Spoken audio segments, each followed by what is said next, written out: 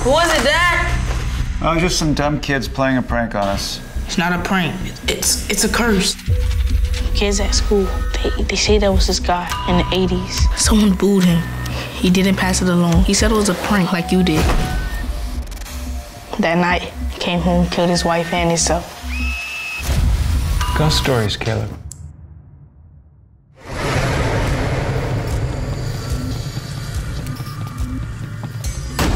There's no curse, just some lame ass superstition. Thou shalt give an eye for an eye, a tooth for a tooth. There's no such thing as ghosts. Ghosts aren't real, baby. We're not talking about this. There is no curse. There's something. We've all felt it. We are haunted by our mistakes, not by ghosts. Sometimes they're the same.